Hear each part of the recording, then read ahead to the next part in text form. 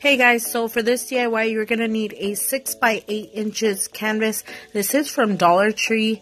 Um, they do have different sizes. Also, it depends on what paint you have. You can use apple barrel paint or you can just use chalk paint. I have this Waverly chalk paint in ballet slippers from Walmart, but use whatever you have on hand.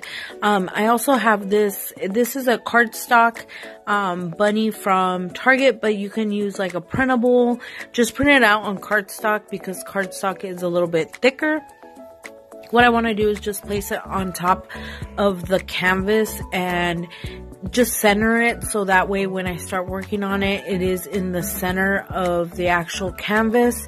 And I'll be taking my paint. I just put some on a lid and then I kind of want to remove that excess paint because what I'm trying to do is do it kind of like dry brushing it, but what I want to do is flicker it outwards from the actual like stencil so that way that you don't get a whole lot of paint underneath. And what this does is also it dries really quick because you don't have a lot of paint. Also, it gives that distress look because you're not completely fully painting the canvas. You can see some of the white underneath, but it still kind of covers it now, I'm just, you know, trying to like dab some of that excess paint off of the brush and just kind of as you can see is I'm flickering it outwards and still trying to hold it with my hand. I, I didn't tape it off or anything. I didn't glue it. I just placed it on top of it.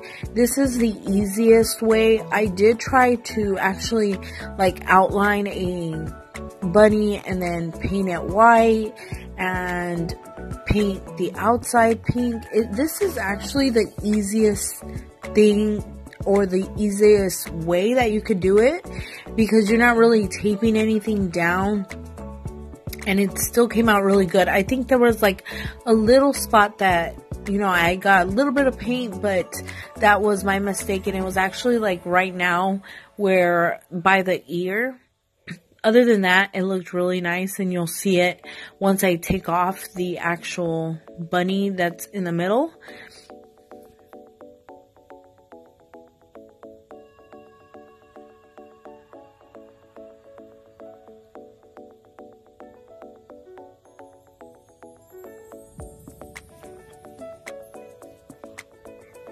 Okay, once I'm done. I'm taking it off. You can see it's pretty nicely um, clean. And then I have an X-Acto knife and just going around the back of the canvas and taking off the actual canvas. What this is actually called is reverse canvas. And as you can see, you just want to take off this excess canvas that you have because you will be staining the actual uh, wood piece. And this is the actual once it's dry. With the frame of the canvas, I just wanted to sand it down with some Dollar Tree sandpaper. And then this is some wood stain. I am using the dark walnut. I've had this for a long time and I've got it on clearance. But I'm taking a foam brush from Dollar Tree and just going around the whole edges and making sure that I do cover it completely. Don't forget about the inside and the outside. Um, do protect your hands when you are using the actual stain. I didn't have any gloves, so I just try to be careful. But other than that, I mean, you know, you always want to protect your surface.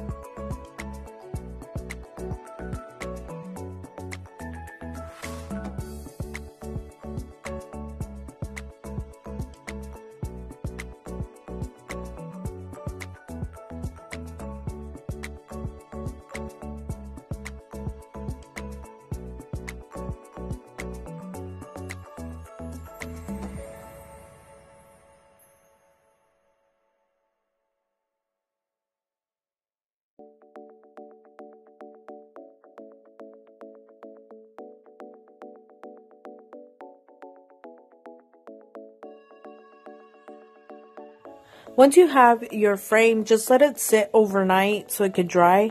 Then I'm taking scissors and as you can see where we painted, it kind of gave you the outline. So I just want to take off that excess canvas all around the frame because we don't need it and it's just excess.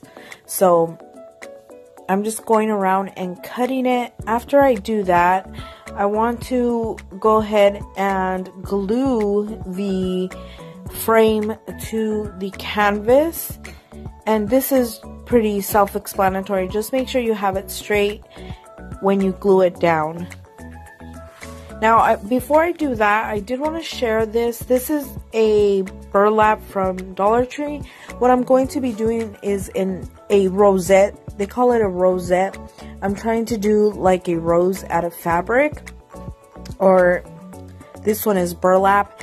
And this is going to be the bunny tail, but I wanted to show you guys how I do it. One thing I do recommend is when you are doing it, you fold it and then fold it another half of that and then just kind of turn it into a little like the center of a rosebud and then you're gonna go all around it by twisting the burlap I hope this makes sense. It's kind of hard to do with burlap, but what I recommend is as you're turning it and you are twisting it, make sure that you're gluing it. That's my mistake. I should have showed you guys that, but I had to unravel it and then um, go ahead and glue every time I kind of twisted it, I glued it down so I can make my burlap rosette.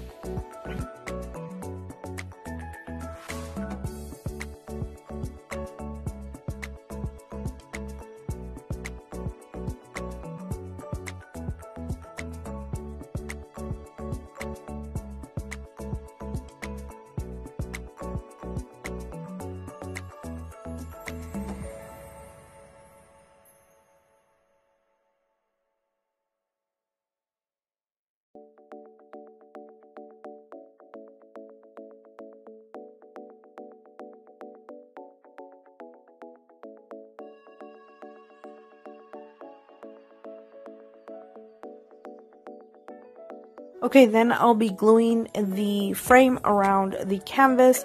This is pretty self-explanatory. Just go around and glue it down. Um, it just make sure that it is centered. Um, I did not, um, well, I did, but then I ended up having that excess canvas on the side.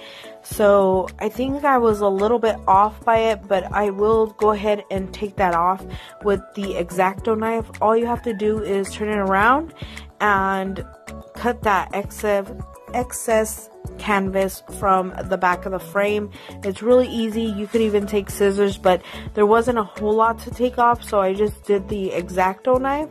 Um, just make sure that some of that frame part isn't showing because then it's going to look sloppy. So I did go ahead and clean that up and took off that excess canvas that was around the frame.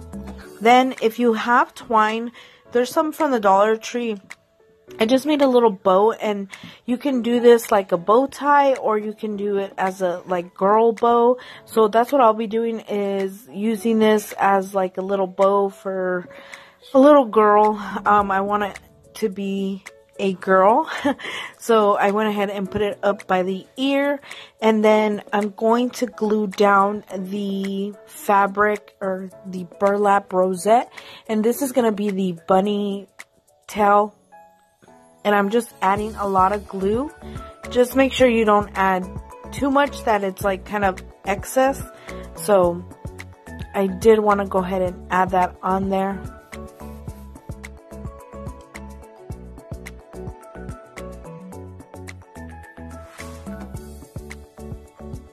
And that is it for my DIY. I hope you guys liked it. It's really cute and rustic to me and I had fun doing this one. Hope you guys enjoyed it and I hope to bring you guys more and I will see you guys in another one.